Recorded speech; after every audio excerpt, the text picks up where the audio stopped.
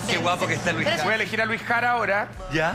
Eh, yo es divertido. Cuando trabajábamos en la televisión, yo creo que con Lucho no teníamos tan buena relación. Teníamos una buena relación, Ajá. pero no tan buena relación como la que tenemos hoy día fuera de la televisión o la que hemos desarrollado fuera de la televisión.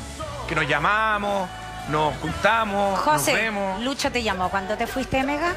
No solo me llamó cuando me fui de Mega. Lucho me dijo, voy a repetir lo que él me dijo. A me ver. dijo, si yo hubiese estado ahí, no te habría dejado solo. ¿Y Eso tú lo llamaste a él cuando se fue?